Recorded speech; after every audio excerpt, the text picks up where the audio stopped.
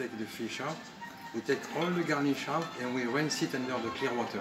Ah, After we make it dry, we dry it up on paper and put it on top of a fan for six hours. And the fan and the sugar and everything make the, the, the salmon uh, raw but half cooked. And after we serve it on the, on the compote, onion compote, I say, I want to use the word of pissaladière. Pissaladière in Provence is a crusty crust with onion compote and anchovy and Yes. garlic and black olive. And that's why I put the, the crust, the onion compote, and on top of it I put the, the salmon. Four pieces of salmon raw yeah, with nice. tomato, roasted tomato, beetroot, beetroot, beetroot, Arugula. uh, arugula, thank you, and to make it more, more fresh.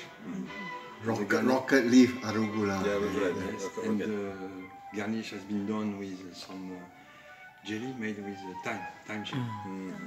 And your soup is a traditional soup from the southwest.